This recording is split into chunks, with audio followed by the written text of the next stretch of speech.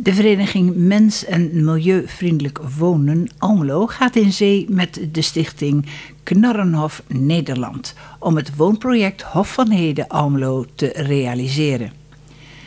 Woningstichting Beter Wonen Almelo stelde woensdagavond haar vergaderruimte ter beschikking voor een informatieavond. Wat is de rol van de Knarrenhof in het project? De Hof van Heden van Almelo die heeft eigenlijk mij gevraagd of ik hen wil helpen om het proces verder te organiseren, om ook daadwerkelijk tot grondeigendom te komen en tot stadbouw te komen. Mhm. Ik kom uit eh, de bouw- en ontwikkelwereld en je ziet heel veel van die bouwgroepen in Nederland uh, die het wel lukt om mensen bij elkaar te krijgen en een mooi idee, maar, maar uh, dat het dan niet lukt om het haalbaar te krijgen en om tot uitvoering te komen. Waar ligt het aan dan?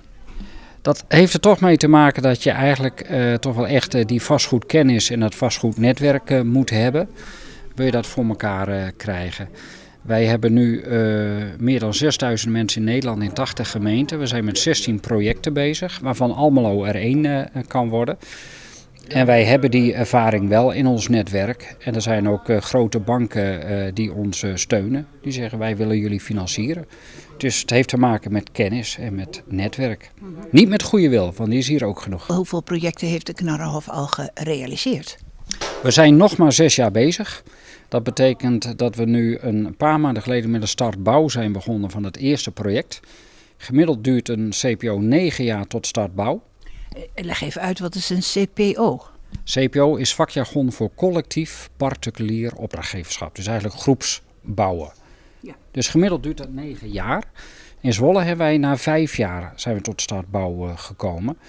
En dat wordt over een paar maanden opgeleverd. Dus mensen kunnen nu al kijken in Zwolle, in de A-landen, hoe dat hofje eruit gaat zien. Maar wij maken natuurlijk elk hofje anders. Ja. Denk je dat het levensvatbaar is, dit uh, project hier? Ja, we hebben eraan gerekend. Het is absoluut levensvatbaar.